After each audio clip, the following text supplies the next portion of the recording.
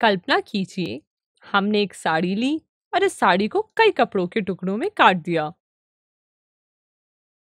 अब प्रत्येक कपड़े के टुकड़े से हमने एक नया परिधान बना लिया।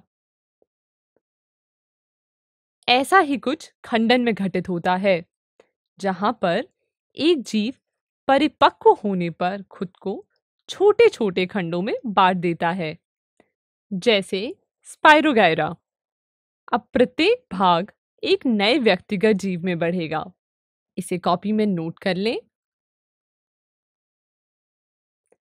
परंतु ये सभी बहुकोशिकीय जीवों के बारे में सत्य नहीं है, क्योंकि विशेष कोशिकाएँ संगठित होकर ऊतक बनाती हैं और ऊतक अंगों में संगठित होते हैं, जिससे नए जीव का कोशिका विभाजन द्वारा बनना नामुमकिन हो जाता है।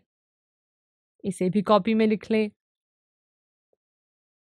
बहुकोशिकीय जीवों में एक मूल रणनीति यह है कि विभिन्न प्रकार की कोशिकाएँ विशिष्ट कार्य करती हैं। इस सामान्य प्रतिरूप का अनुसरण करते हुए इस प्रकार के जीवों में जनन भी एक विशिष्ट कोशिका का कार्य है। इसे अपनी कॉपी में नोट कर लें। लेकिन प्रश्न यह है कि अगर जीव में खुद कोशिकाओं के इतने प्रकार होते हैं तो एक प्रकार की कोशिका से जनन करना कैसे संभव है?